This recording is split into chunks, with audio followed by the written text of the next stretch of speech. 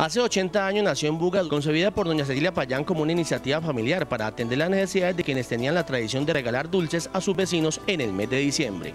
De la paila de bronce y el mecedor se ha pasado a nuevas tecnologías que permiten desarrollar una mayor producción y alta calidad. El secretico de doña Cecilia Payán continúa vigente en el Majar Blanco bugueño. Es un secreto que llevamos guardando por 80 años y el secreto es, lo conoce todo el mundo y es no perder la mira de la calidad. Genera 80 empleos directos. Además, los productos son envasados en empaques típicos colombianos, como la totuma o mate y en cajilla de madera.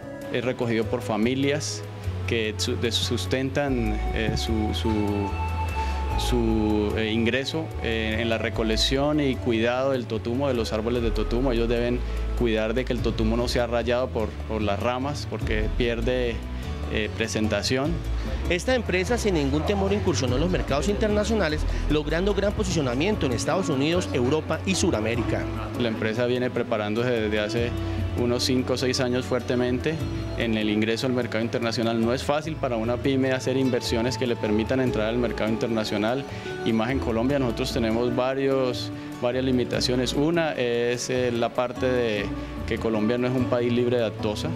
La Asociación Colombiana de Medianas y Pequeñas Industrias ACOPI destacará mañana a esta empresa como pyme exportadora.